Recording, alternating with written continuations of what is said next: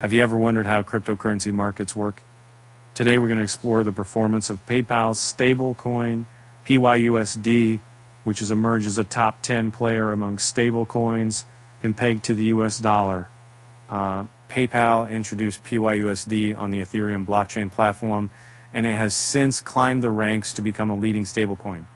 However, despite the ongoing cryptocurrency market upswing, PYUSD has barely made a ripple over the past month, PYUSD's market value has decreased by 25.8%, and its circulating supply has decreased to 224 million tokens.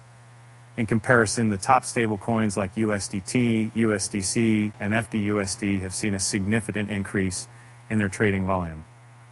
Um, while PYUSD is a significant player in the payment and finance sector, it faces stiff competition from established names like USDT, USDC, FDUSD, and DAI, even Binance Peg BUSD experienced double um, the global trading volume of PYUSD.